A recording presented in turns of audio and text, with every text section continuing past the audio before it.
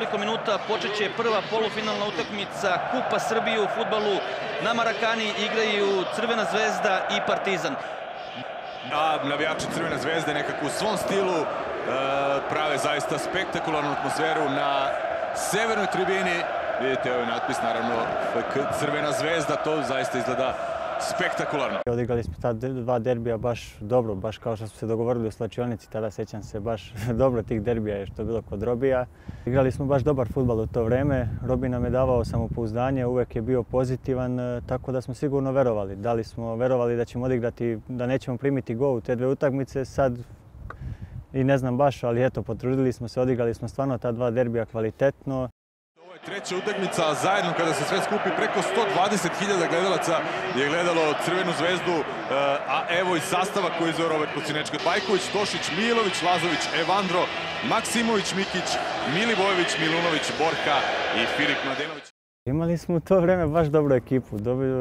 sastavili smo dobru ekipu mladosti, čak i iskustva. Dosta, dosta igrača koji su tada došli u Zvezdu bili su mladi. Posle toga su to napravili dosta dobre karijere. Počeo je to Milivojević, Maksimović, sada ne nabrajam Mladenović. Bilo nas je dosta na slova M uglavnom, koliko se sjećam.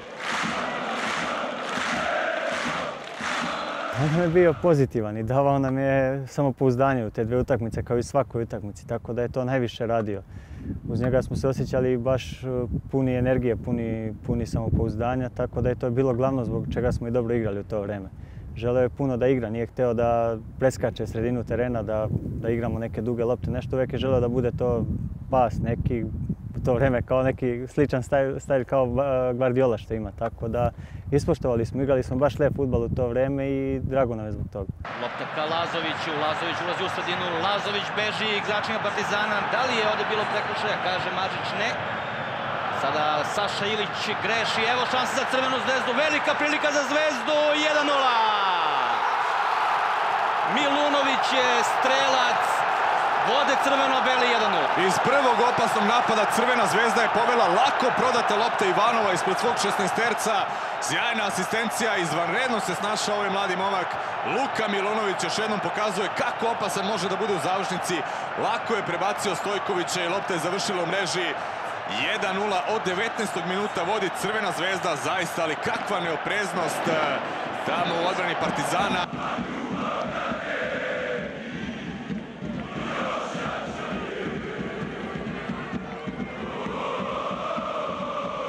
Borha na drugoj strani. Evo velike prilike. 2-0! Vodi Zvezda 2-0.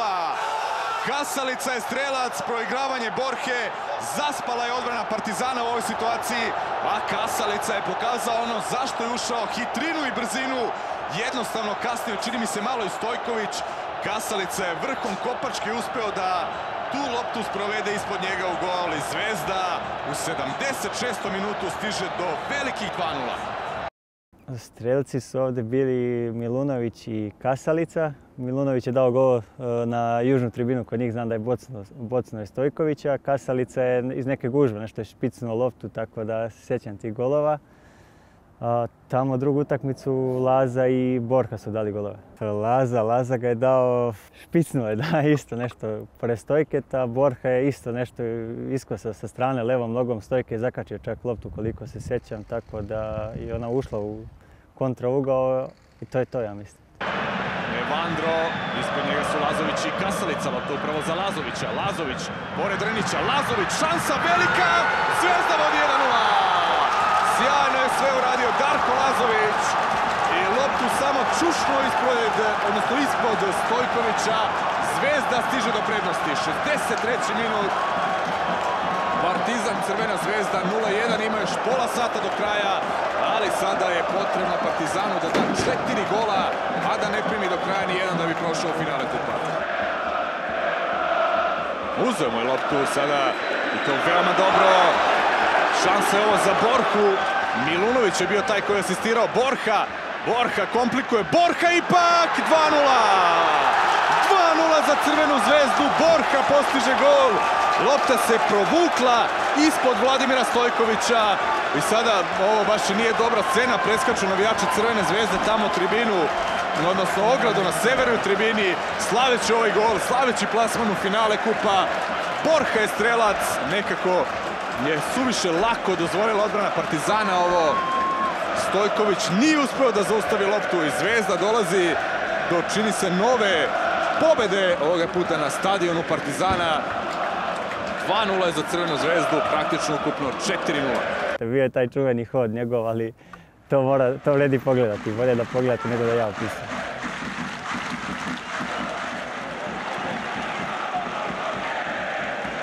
Atmosfera tribina. Bila je kao i svakom derbiju super. Znam prvi derbi kada sam igrao da su mi klecala kolena iskreno kada sam izašao na JNA je bio taj prvi derbi moj. Ali poslije s vremenom se i navikneš malo na tu atmosferu. Kada počne utakmica čak i ja sam barem u utakmici tako da i ne čujem baš sve sa tribina, ali koncentrišem se najviše na utakmicu, ali sećam se atmosfera uglavnom na svakom derbiju super.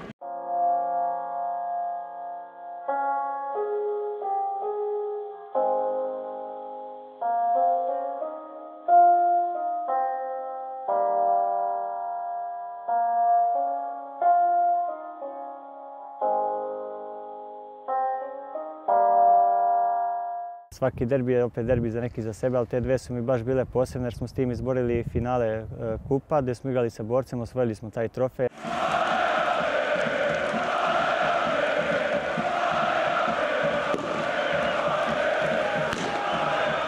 Poruka za sve navijače koji se sećaju tog derbija da se nadam da ćemo nastaviti da dobijamo svaki derbi, tako da to je to.